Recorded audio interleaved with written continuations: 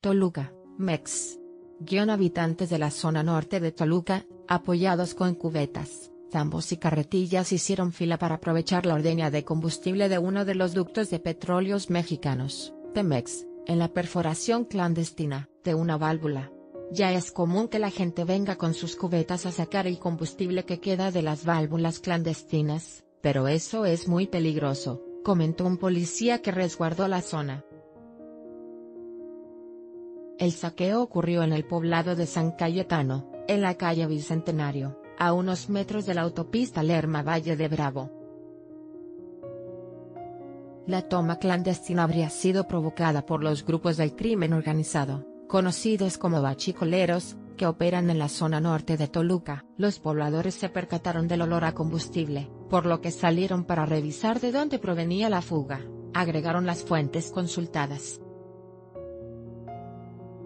De inmediato, alrededor de unas 100 personas comenzaron a reunirse en el punto de la fuga de hidrocarburo para aprovechar lo que ya se estaba derramando y fluía desde el ducto de Pemex. Cuando llegamos ya estaba toda la gente con sus garrafones, botes y cubetas y aunque se les informó que era peligroso, no hicieron caso, explicó el uniformado. Fue hasta unas dos horas después de la fuga de Loachicol, que algunos vecinos hicieron una llamada de denuncia a la policía municipal, para que acudiera a resguardar el punto.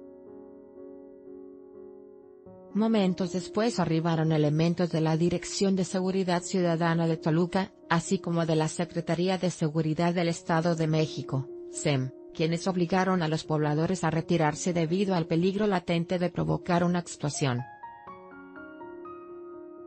La rapiña de combustible en tomas clandestinas de los ductos de Pemex, se ha vuelto más común en delegaciones del Valle de Toluca, así como en la zona norte del Estado de México.